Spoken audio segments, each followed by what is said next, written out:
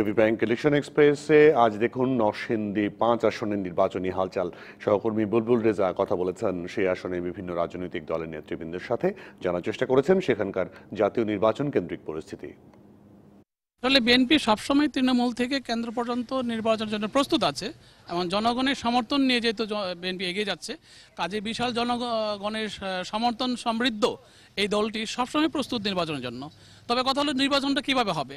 নেত্রীকে তো জেলে রেখে করা যাবে না, আর নিরপেক্ষ সরকার নির্বাচন না হলে নির্বাচন করা যাবে না। আর এই দুটো যদি বাদ দিয়ে আমরা নির্বাচন করি, তাহলে হয়তোবা ফাঁদে পা দেওয়া ছাড়ার কিছু না। কারণ দুই হাজার চোদ্দ সনের পাঁচই জানুয়ারি নির্বাচন যা হয়েছে, সেটা ওই রকম নির্বাচন আমরা কখনো আশা করি না। আমরা চাই জনগণ জনগণের ভোটটা দিতে যেতে পারে। তাহলে জনগণের ভোটের অধিকার জনগণ পাইল, সুশাসন নিশ্চিত করার জন্য। এই ক্যান্ডিডেটদেরকে পাশ করার পর আবারও জনগণের কাছে আসতে হবে বিদায়। তারা কিন্তু নিশ্চয়ই জনগণের কাজ করবে। আজই আজকে ভোটের সেই ফ্লোটা নাই বলে কিন্তু জনগণ ভোটের জন্য কোনো বিশ্বাস রাখতে পারছে না এবং প্রার্থীরাও কিন্তু পাশ করার পর জনগণের কাছে আসছে না। তো সেই জন্য আমি বলি, আমরা যেহেতু জনগণের কাছে আছি, বিএনপি সবসময় জনগণের জন্য প্রস্তুত, জনগণের ভোট দেওয়ার জন্য প্রস্তুত, জনগণের ভোটের অধিকার আদায় করার জন্য আমরা প্রস্তুত। কাজে আমি মনে করি যে বিএনপি এই ক্ষেত্রে আবার নতুন করে প্রস্তুতি নিতে হবে না। বিএনপিকে প্রস্তুত করে ফেলেছে আওয়ামী লীগই।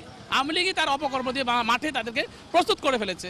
আমি আমার মনোনয়ন পাওয়ার ব্যাপারে শতভাগ আত্মবিশ্বাসী, কারণ যেহেতু বিএনপির জন্মলগ্ন থেকে আমি কাজ করে আসছি, আমার পরিবার করে আসছে, ছাত্র রাজনীতি করেছি, ছাত্র দলের রাজনীতি করেছি, সেহেতু আমি মনে করি যে আমার যোগ্যতা এবং সামর্থ্য এবং আমার বুদ্ধিমত্তা, দলের প্রকৃতি, আকৃতি সব বিচার বিশ্লেষণ করে আমি মনে করি আমি সব দিক দিয়ে এগিয়ে আছি এবং আমি মনে সেটা পাবো বলে আমি আশাবাদী।